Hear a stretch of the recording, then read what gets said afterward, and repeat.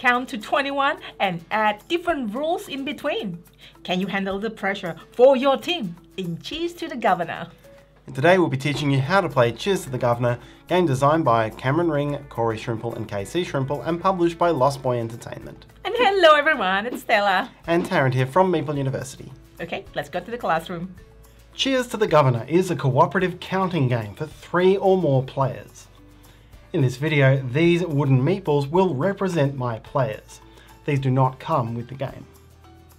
To begin the first round, choose a first player and then starting with that player, count from 1 to 21 clockwise around the table. So the first round is very simple. 1, 2, 3, 4, 5, 18, 19, 20, 21. Whoever counts the final number becomes the governor. Cheers to the governor.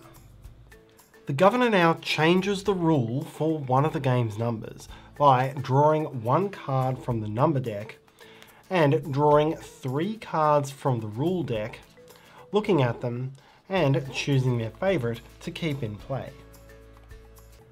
In this case, from now on, in future rounds, instead of counting the number 10, whoever has that number must say the word bullseye. Once all players have memorized this number and rule, flip the cards face down. These may only be consulted again if everyone forgets the rule. Now from the last governor, start the count again.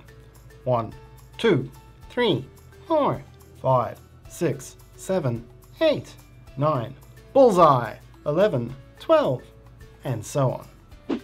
If you get to 21 again, congratulations, it's time to add another new rule.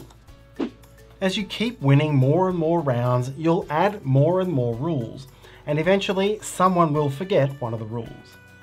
5, 6, 7, 8, 9, 10. No, you're supposed to say bullseye. If a mistake is made, that count is over and the team has to restart, with the player making the mistake starting again from the number 1. Continue replaying the same round with the same set of rules until you succeed, and then once again, add another new rule and number to the mix.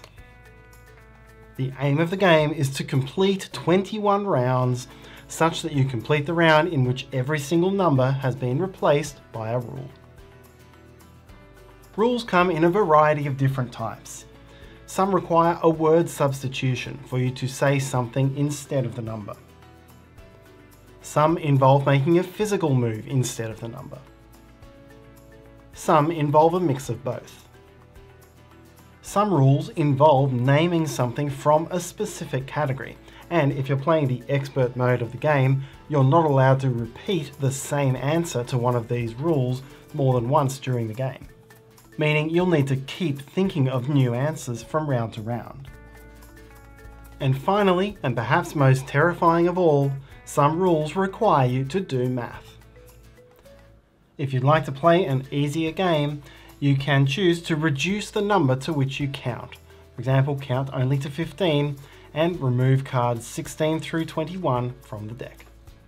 And that's how to play Cheers to the Governor. Thanks so much for watching. Your like and comments are much appreciated. Subscribe to see what's coming and hopefully you have a wonderful day. See you next time.